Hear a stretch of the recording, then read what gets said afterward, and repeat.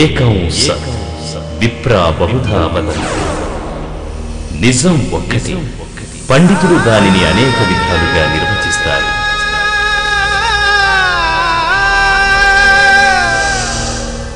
ఓం నమో వెంకటేశాయ. అపూర్వమైన పౌరాణిక కథనాలకు దృశ్య రూపం మనకు కలిగే సందేహాలకు వ్యాఖ్యానపూర్వక వచన రూపం భక్తి చైతన్యం పురాణ గాథాలాది కార్యక్రమానికి స్వాగతం.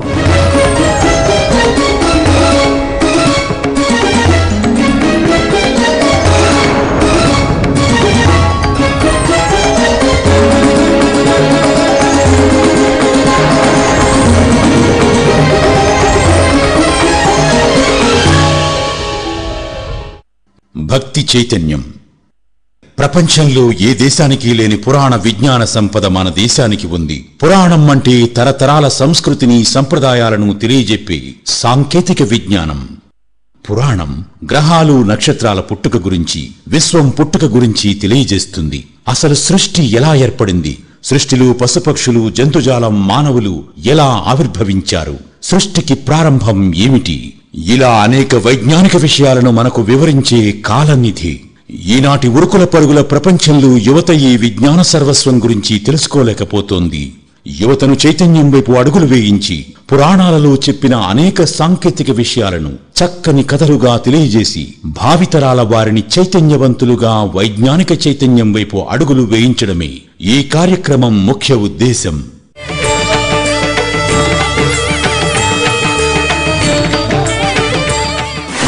ఒకవైపు పాంచజన్యుడు ఇటువైపు యమధర్మరాజు వారినే జయించారు. ఇక పైన ఈ బలరామకృష్ణులు ఏం చేయబోతున్నారో? నాయనా ఒక తల్లికి పుత్ర ప్రాణభిక్ష పెట్టారు. మీరున్న జన్మ జన్మలకి తీర్చుకోలేము. ఈ జన్మలో? నా భర్తకి ఇల్లాలుగా? నా దేవుళ్ళకు భక్తురాలిగా? త్రికరణ శుద్ధిగా పూజలు చేసి గడించిన పుణ్యఫలం యావత్తు మీకు దారిపోస్తున్నాను ఆదిలక్ష్మితో ఆ నారదుల వారు ఏం చెబుతున్నారో?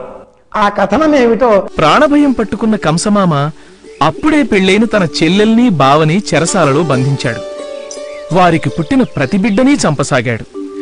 అంకెలగారడి ముందు వెనకలు ఆడమగా పుట్టుకలతో మామకు మతిపోగొట్టి స్వామి చెరసాలలోనే పుట్టాడు. ఇటు వ్యాసుడు అటు పోతనామాచుల వారు మన కథలో నాగుల చేత ఏం చెప్పిస్తున్నారో చూద్దాం. వసుదేవా నేను మధురలో ఉండరాదు. యమున కావల రేపల్లకు తీసుకువెళ్ళు. అక్కడ నందరాజు ఇంట నా సేవ కోరిన మరొక తల్లి యశోద కుమార్తెను ప్రసవిస్తుంది. నన్ను ఆవిడ పక్కన పడుకోబెట్టి ఆ బిడ్డను తెచ్చి ఈ అమ్మ చింత నుంచు. నీకు ఏ ఆటంకాలు కలగవు. కృష్ణావతారంలో ఉపకథగా ఉండేటటువంటి కృష్ణావతారంలో ఎన్ని తిప్పలు పడబోతున్నాడో ఎన్ని కష్టాలు పడబోతున్నాడో చూద్దాం. వసుదేవుడు యశోద పురిటి గది చేరాడు. అంతా విష్ణుమాయలో మైమరచి ఉన్నారు. చిన్ని కృష్ణుని యశోద పక్క నుంచి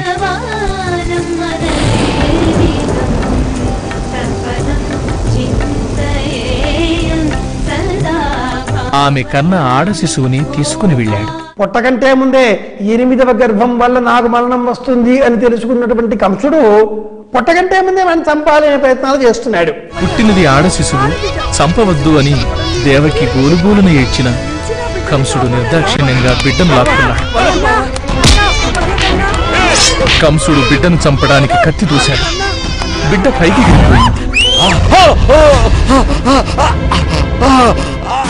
దైవ సంకల్పం అద్భుతమైనది. దాని ముందు మానవ సంకల్పం దిక్ బలం అని చెప్పాలి. దైవ సంకల్పం దైవ బలం ఉంటే ఎంతటి ప్రమాదంలోనైనా మనం తప్పించుకోవచ్చు. వనే రనే పర్వత మస్తకాగ్రే ఏ అపాయంలో ఉన్నా ఏ ప్రమాదంలో ఉన్నా దైవం అనుగ్రహం ఉందా? తప్పించుకోగలుగుతాం. క్షణాల్లో. అదే మనం దైవ సంకల్పం లేనప్పుడు ఎంత ప్రయత్నించినా చిన్న ప్రమాదం కూడా పెను ప్రమాదంగా సంభవిస్తుంది. తప్పించుకోలేం మనం. భారత కథలో పాండవులు మహనీయులే. సాక్షాత్తు కృష్ణ పరమాత్మని అండ దండ ఉన్నవాళ్ళే. అయినా కాలం కర్మం కలిసి రాకపోవడంతో జూదంలో ఓడిపోయారు. చిన్నప్పటి నుంచి కూడా ధర్మరాజుకు ఈ జూదం పట్ల విపరీతమైన ఆసక్తి. అయితే అరవై నాలుగు కళలలో జూదం ఒక కళ.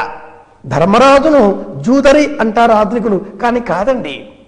రాజధర్మాన్ని అనుసరించి జూదరికం ఒక క్రమంగా ఒక క్రియ ఒక లక్షణం ఒక ఆట ధర్మద్యూతము పిలిచారు ఆడాలి.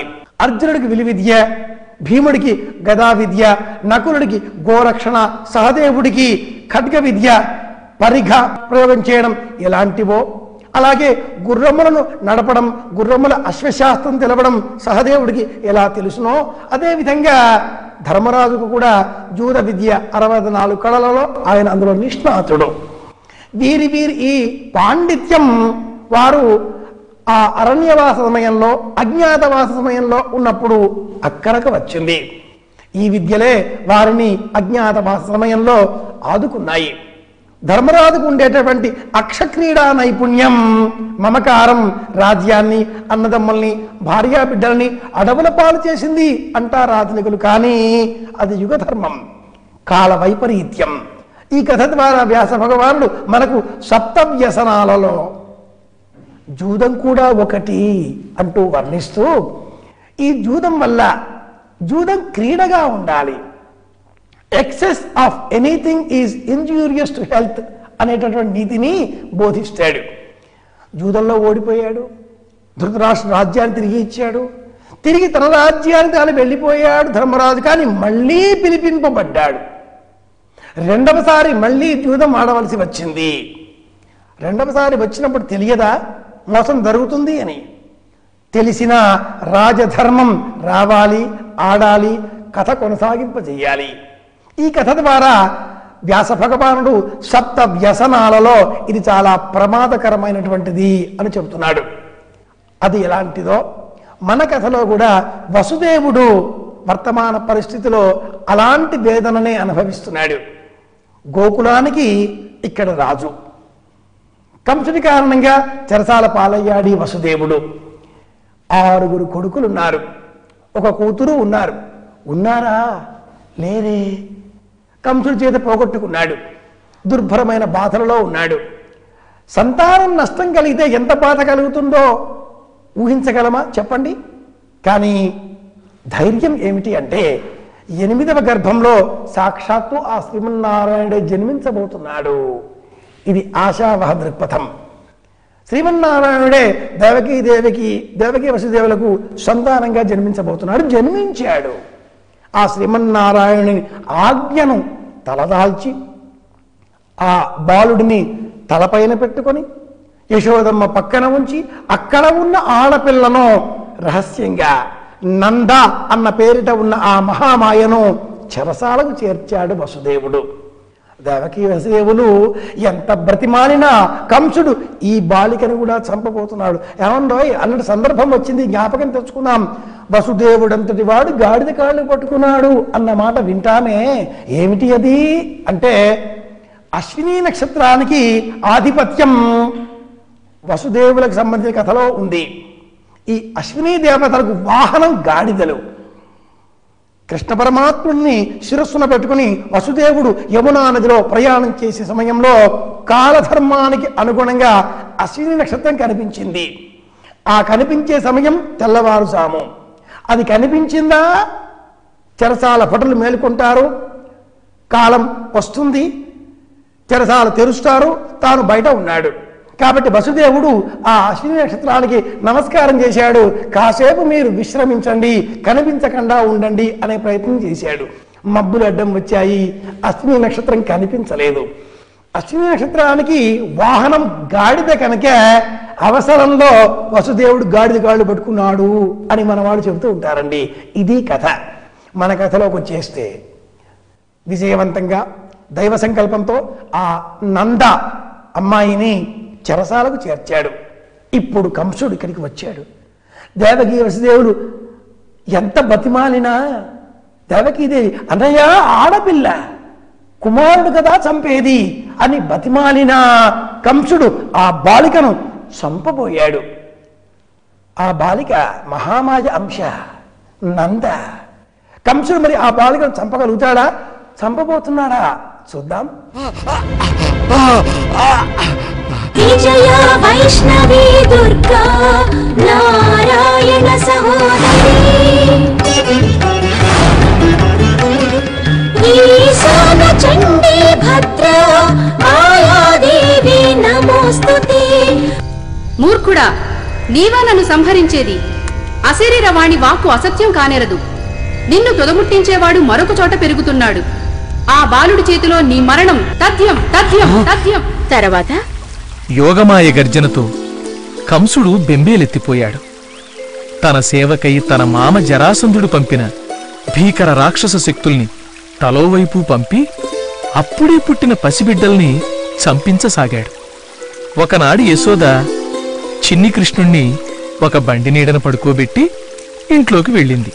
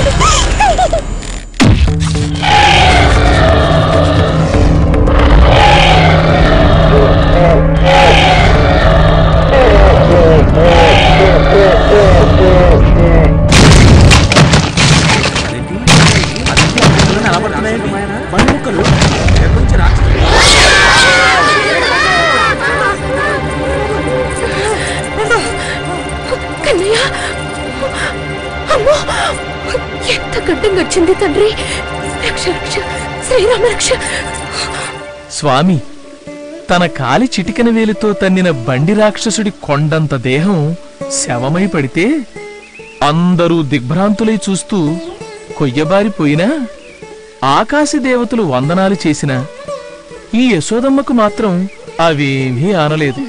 పసిబిడ్డకు తన కన్నయ్యకు పెద్ద గండం గడిచిందని మాత్రమే. బిడ్డకు దిష్టి తీసింది. బాలకృష్ణుడి అల్లరి నానాటికి పెరగసాగింది. ఒకనాడు అన్న బలరాముడు యశోద వద్దకు వెళ్ళి తమ్ముడు మన్ను తింటున్నాడు అని చాడీ చెప్పాడు. ఈ ప్రపంచగమంద ఏ మహామాయలో లీనమగుచునుండునో అట్టి మహామాయ జగంబు నిక్కమనుచు అన్నాడు ఒక మహాకవి. మాయ ఈ రెండు అక్షరాలలోనే సృష్టి అంతా కప్పబడి ఉంది. సాక్షాత్తు శ్రీమన్నారాయణమూర్తి ఆయన జగన్నాటక సూతధారి ఆయన చేసేదంతా కూడా మాయ. అందుకే దీన్ని మహామాయ విష్ణుమాయ అంటారు పెద్దలంతా కూడా. మహర్షులు సిద్ధ పురుషులు పుట్టుక మాయ బ్రతుకు మాయ మరణము మాయ ఆలుబిడ్డలు మాయ అంటూ ఉంటారు. ఆలుబిడ్డలు మాయ అన్నదమ్ములు మాయ సతులు మాయ సద్గతులు మాయ అని వేదాంతం చెబుతూ ఉంటారు. అర్థం నాస్తి గృహం నాస్తి అని వర్ణిస్తూ ఉంటారు. మాతా నాస్తి పితా నాస్తి నాస్తి బంధు సహోదర అర్థం నాస్తి గృహం నాస్తి తస్మాత్ జాగ్రత్త జాగ్రత్త అంటారు శంకర భగవత్పాదుల వారు. సావు పుట్టుక ఈ రెండింటి మధ్య కూడా కొంత వాస్తవం ఉంది. అది స్థితి మనుగడ. ఈ మనుగడలో మనం ఏదీ చేయకపోతే ఈ మనుగడ ముందుకు సాగదు. సృష్టిలో శివమాయ బ్రహ్మమాయ అది లేవు కదండి? ఒకటే మాయ ఉంది. అది విష్ణుమాయ. తల్లి గర్భంలో పడినప్పుడో భూగర్భంలో చేరినప్పుడో ఏ మనిషికైనా కూడా ఏ ప్రాణికైనా కూడా అప్పుడు మాయతో పని ఉండదు. అప్పుడు మరొక విధమైన మాయ కప్పబడి ఉంటుంది. మాయ తొలగించిన తర్వాత మనం బయటికి వచ్చామా? మన మనుగడ కొనసాగుతుంది. ఇక్కడ బుద్ధి అవసరం. బతకాలి అంటే ఇక్కడ మనం లోకానికి సంబంధించిన కొత్త విధమైనటువంటి మాయా నటన ఇది చెయ్యాలి. తప్పదు. సృష్టిలో ప్రతి ప్రాణిని బ్రతికించడానికై ఆ శ్రీమన్నారాయణమూర్తి మాయావి కావాల్సిన అవతారం ధరించాడు. మనం కూడా అంతే కదండి. పెళ్ళాం పిల్లల్ని పోషించుకోవడానికి ఆ శ్రీమన్నారాయణమూర్తిలా ఎన్నో అవతారాలు ఎత్తుతూ ఉంటాం. ఎన్నో మాయలు వేషాలు మాటలు చెబుతూ ఉంటాం. ఉదర పోషణార్థం బహుకృత వేషం అంటూ ఉంటాం. సామాన్యులు చేసే మాయలు అంతా వెలుగులోకి రావండి. సామాన్యులం కదా. అయినా కూడా ఈ సామాన్యులలోనే కొంతమంది డబ్బు సంపాదించినటువంటి వాళ్ళు మానవులే. కానీ బడా బడా వ్యాపారవేత్తలు రాజకీయవేత్తలు వాళ్ళు మాయలు చేసినప్పుడు అబ్బో వాడు పెద్ద మాయగాడురా బాబు అంటూ ఉంటాం. ఇంకెక్కడ నా సందర్భం వస్తే ఎవరో ఎవరినో పెళ్ళి చేసుకుంటే ఆ ఫలానా అమ్మాయి ఆ ఫలానా అబ్బాయి ఫలానా అని ఏం మాయ చేసి లోపరుచుకుందో? ఏం మాయ చేశావే అన్నట్టుగా ఏదో జరిగిందో ఏమో అన్నట్టుగా చెప్పుకుంటూ ఉంటాం. ఇదండి మాయ. ఎవరో డబ్బు బాగా బ్యాంకులు దివాలా తీసేశారు. చెప్పుకుంటూ ఉంటాం అంటూ ఉంటాం. ఇక్కడ ఆ శ్రీమన్నారాయణమూర్తి అండ దండగా ఉండేటటువంటి మాయ మహామాయ. ఆమెకే యోగమాయ అని పేరు. పదమూడు పేర్లను భాగవతం వర్ణిస్తుంది ఈ యోగమాయకు. అందులో కృష్ణ అనే పేరు కూడా ఒకటి. అంటే మాయ పేరు కూడా కృష్ణ. మన యోగంలో ఉండే మాయ యోగమాయ. ఈ యోగమాయ సాక్షాత్తు పార్వతీదేవి. అందుకే పార్వతీదేవిని నారాయణి అంటాం శ్రీమన్నారాయణుడిని నారాయణ అంటాం. అది కథ ప్రత్యేకంగా గమనించినట్లయితే ఇలా ఆ మాయ పార్వతీదేవి అటువంటి యోగమాయను చంపాలి అనే ప్రయత్నం చేశాడు కంసుడు. అందులో మళ్ళీ చెప్తాను. చంపాలి అనే ప్రయత్నం చేశాడు. ఈ కంసుడు భంగపాటయ్యాడు భంగపడ్డాడు అవమానం పాలయ్యాడు. పుట్టడంతోటే మాయ చేసి మేనమామ కళ్ళు కప్పి గోకులంలో పెరిగాడు ఈ మన కృష్ణుడు. అక్కడ ఏం మాయలు చేయబోతున్నాడో చూద్దాం. బలరాముడంటే ఆదిశేషు అవతారమా? అవునమ్మా. మరి రామావతారంలో ఈయనే తమ్మునిగా సేవ చేశాడు కదా? అదేనమ్మా. స్వామి వాత్సల్యం. ఆ కథ విను. దేవి శ్రీరామ పట్టాభిషేకం తర్వాత ఒకనాడు ఇష్టాగోష్ఠి వధ జరిగుండేది కాదు. లక్ష్మణ పదునాలుగేళ్ళు ఆహారం నిద్ర లేకుండా నిష్ఠగా ఉన్నందువల్లనే ఇంద్రజిత్తును వధించగలిగావని నారదుల వారు చెప్పారు. అనుజ ఇది నిజమా? తమ సేవలో పొరపాటు జరగకుండా అహర్నిశలు అప్రమత్తుడనై ఉండాలన్న భావంతోనే నిష్ఠ అవలంబించాను తప్ప వేరేమీ తెలియదు. మరి ప్రతినిత్యం నీవు తెచ్చిన ఫలాలలో ఒక భాగం నీకిచ్చేవాడిని కదా? వాటిని తినేవాడివి కాదా? వాటిని ఏం చేసేవాడివి? తమ చేతి ప్రసాదాన్ని అలక్ష్యం చేయను కదా? వాటిని ఒక చోట ఉంచి ఎండబెట్టేవాడిని. కొంతకాలానికి వరుగుల వలె అయిపోయేవి. అప్పుడప్పుడు నా అస్త్ర సహాయంతో వాటిని అయోధ్యకు పంపేవాడిని.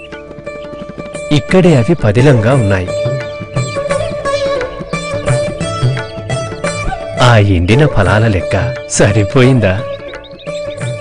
ఒక్క నాలుగు నాళ్ళ ఫలాలు తక్కువచ్చాయి. అనుజ? అవును ప్రభు.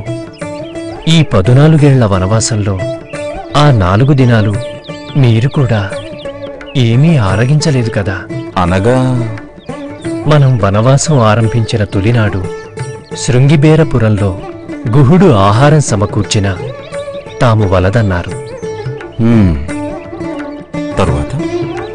చిత్రకూటంలో ఉండగా పూజ్య పితృపాదులకు తర్పణాలు విడిచిన నాడు ఆ పిమ్మట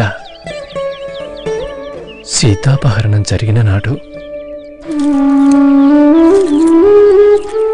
నాలుగవ సంఘటన. నేనే మరువలేనిది. ఇంద్రజిత్తు శక్తి అస్త్రం వేయగా నీవు మూర్ఛిల్లిన నాడు. మన హనుమ పునర్జన్మ ప్రసాదించాడు కదా? తమ్ముడా చిన్నవాడుగా నీ పెద్దలకు చేయవలసిన సేవలు అద్భుతంగా చేశావు. పెద్దవాడుగా పిన్నల పట్ల చూపవలసిన శ్రద్ధలో నేను తప్పు చేశాను. అన్నా.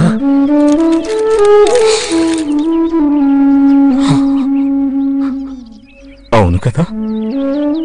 మీ సంరక్షణలో నేను మీ వదిన గారు ఎంతో సంతోషంగా విహరించాం. కానీ ఏనాడు నువ్వు తిన్నావో లేదు ఒక్క మారు కూడా అడగలేదు. ఈనాటి వరకు ఈ క్షణం వరకు మా కోసం నీవింత కఠోర దీక్ష పాటించావని తెలియనే తెలియదు. ఆ దోష పరిహారార్థం కృష్ణావతారంలో తాను తమ్ముడై దాసుడు ఆదిశేషువుని అన్నగా మన్నించాడు. మాయం కావడం కనిపించకుండా పోవడం. మాయం చేశారు కనిపించకుండా చేశారు. ఏదో మాయ జరిగింది చిత్రమైంది అర్థం కాలేదు. ఇవన్నీ కూడా వ్యాసభారతంలో లక్షోపలక్షలు. ఇన్ని మాయల గురించి మనతో ప్రస్తావన చేస్తున్నటువంటి ఆ వ్యాసుని నిర్మించినటువంటి మాయావి మరొకడు ఉంటాడా? ఆయన కూడా సాక్షాత్తు శ్రీమన్నారాయణ అంశ కదా తన మాయాశక్తితో నూట ఎనిమిది పురాణాలను బ్రహ్మసూత్రాలను భాగవతాన్ని మనకు అందించాడు. అనంతమైన వేదాన్ని నాలుగుగా విభజించి ఇది ఇది ఇది ఇది దీనికి ఇది అర్థం అనేటటువంటి విభజనతో మనకు అనంతమైన విజ్ఞానాన్ని అందించాడు. అంతటి మాయావి ఆ వేదవ్యాసుడు. రామాయణం భారతం భాగవతం ఎన్ని మాయలండి? రామాయణం భారతం ప్రతి మానవుడికి రెండు కందుల వంటివి అనుకుంటే భాగవతం అతని హృదయం వంటిది అని చెప్పుకుంటూ ఉంటామే. ఈ మూడింటిని మనకు అందించాడే ఆ మాయావి వ్యాస మహర్షి. ఆ మాయలో ఒక భాగం ఆదిశేషుడు లక్ష్మణుడిగా పుట్టడానికి కారణం. రావణుడి కొడుకు ఇంద్రజిత్తు బ్రహ్మను మెప్పించి భార్య గల బ్రహ్మచారి చేతిలో కానీ మరణం లేకుండా ఒక వరం పొందాడు. ప్రతి కథకు ఒక ఉపకథ ప్రతి కథకు మరొక చోట లింక్ సంబంధం అంటామే అలా. ఆ ఇంద్రజిత్తుకు తన వరం ఓ గర్వంగా పరిణమించింది. విర్రవీగాడు. ఒకనొక సందర్భంలో ఆదిశేషుడు కుమార్తె సులోచనను అపహరించి వివాహం చేసుకున్నాడు. రాక్షస చర్య కారణంగా నాగజాతికి అప్రతిష్ట కలగడంతో పగపట్టిన ఆదిశేషుడు శ్రీమన్నారాయణపతి సంకల్పంతో లక్ష్మణస్వామిగా జన్మించాడు. సీతారామ కళ్యాణం జరిగినప్పుడే లక్ష్మణుని పెళ్ళి కూడా ఊర్మిళతో జరిగింది కానీ పింతల్లి కారణంగా రామచంద్రమూర్తి పద్నాలుగు సంవత్సరాల పాటు అరణ్యవాసం చేయవలసి వచ్చినప్పుడు లక్ష్మణుడు భార్య ఉండి కూడా బ్రహ్మచర్య వ్రతాన్ని చేసి ఇంద్రజిత్తును సంహరించాడు. బ్రహ్మచర్యమాగా ఉపమానయస్వ అది ఒక వ్రతం. ఆ వ్రతాన్ని పాటించాడు ఇంద్రజిత్ సంహరించాడు లక్ష్మణస్వామి. పదకొండు పద్నాలుగు సంవత్సరాల పాటు ఉపవాస వ్రత దీక్షతో పాటుగా నిద్ర ఆహారాలు మాని తనను సేవించినటువంటి ఆదిశేషులకు ఆ రామచంద్రమూర్తి వరాలు ఇచ్చాడు. ఆ వరం కారణంతో కృష్ణావతారంలో లక్ష్మణుడే ఇప్పుడు ఇక్కడ బలదేవుడిగా బలరామునిగా జన్మించడం జరిగింది. ఈ బలరామకృష్ణ కథా కమామీషి ఏమిటో ఏం జరుగుతోందో చూద్దాం. ఆ అన్నగారు చాడీ చెప్పగానే యశోదమ్మ బెత్తం పుచ్చుకుని శ్రీకృష్ణుల వారిని తరమడం మొదలెట్టింది. అన్నయ్య చెప్పాడు. ఇట్లా చెప్తాను. కన్నయ్య కన్నయ్య కన్నయ్య మన్నుటి నంగని శిశువును కన్నయ్య! కుంటెను వెర్రెను నమ్మంజోడకు వీరి మాటలు మది. నన్నీవు కొట్టంగా వీరి మార్గంబు ఘటించి చెప్పెదరు. కాదేని మదీయాస్య గంధం మాఘ్రాణము చేసి నా వచనము తప్పై దండింపవే. రా. ఇట్రా నోరు తెరు. నోరు తెరు. తెరవమంటున్నానా? నోరు తెరు. నువ్వే కదా నోరు వాసన చూడమన్నావు. నోరు తెరు.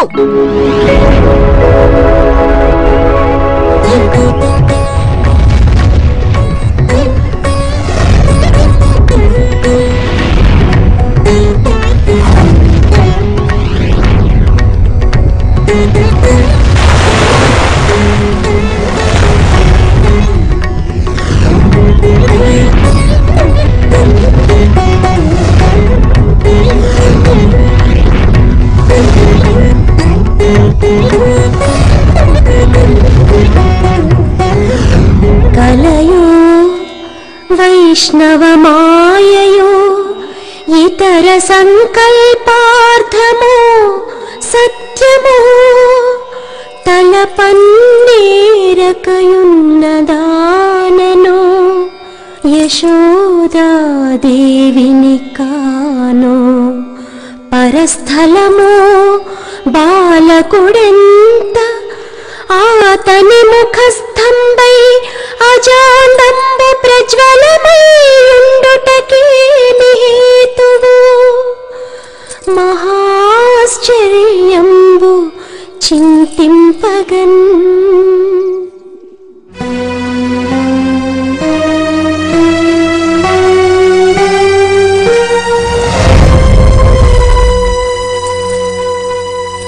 అన్న ఇవన్నీ అబద్ధాలే. నిజంగా నోట్లో ఏమీ లేదు. ఎర్ర కొట్టాను నాయనా. అమ్మా ఆకలి. దాలి మీద పాలు కాగుతున్నాయి తాగుదు గాని. దా. దాలి పాలు వద్దు. అమ్మ పాలు అమ్మ పాలు అమ్మ పాలు. అమ్మ పాలు అమ్మ పాలు. తప్పు ఛీ, పెద్ద పిల్లాడివయ్యా. ఇంకా అమ్మ పాలు కావాలా? పాలు వద్దు. అమ్మ పాలు అమ్మ పాలు అమ్మ పాలు. అమ్మ పాలు అమ్మ పాలు అమ్మ పాలు. అమ్మ పాలు.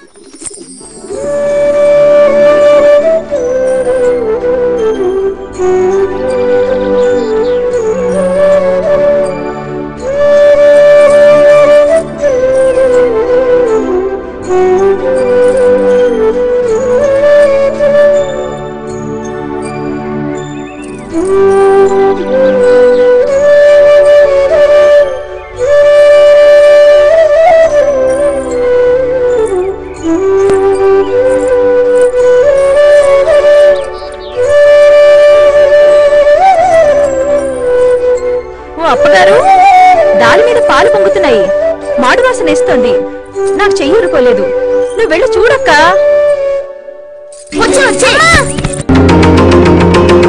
సృష్టి స్థితి లయ ఈ మూడు ఈ ప్రపంచాన్ని నిర్వహించేటటువంటి మౌలికమైన ధర్మాలు.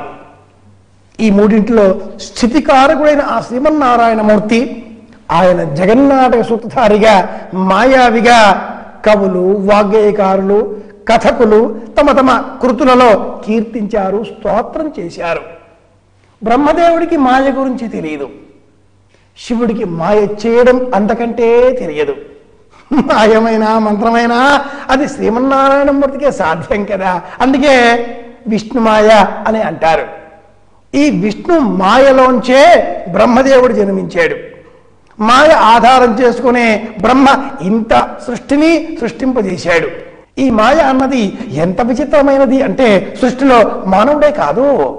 సకల ప్రాణికోటి కూడా తాము చూస్తున్నది వాస్తవం అన్న భ్రమలో ఉంటుంది. మరి ఈ మాయలో అనంతమైనటువంటి జగన్నాటకానికి తెరతీస్తున్న ఆ శ్రీమన్నారాయణమూర్తి ఎన్ని మాయలు చేయబోతున్నాడో ఏం చేయబోతున్నాడో తెలుసుకోవాలి అంటే చూద్దాం చూస్తూనే ఉందాం వచ్చే సంచిక వరకు వేచి ఉందాం. మనదైన కార్యక్రమం భక్తి చైతన్యం. పురాణ గాథాలహరి ఓం నమో వెంకటేశాయ. కంసుడి పన్నాగం పారుతుందా యశోదాదేవి బాలకృష్ణుడిని మధురకు పంపిస్తుందా?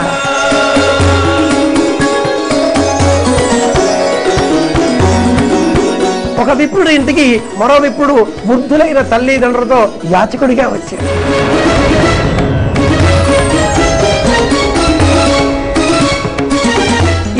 ఇంత గొప్ప త్యాగం చేసిన ఈ మాతృమూర్తిని ధర్మ సంరక్షణుడైన ఆ శ్రీమన్నారాయణమూర్తి గాలికి వదిలేస్తాడా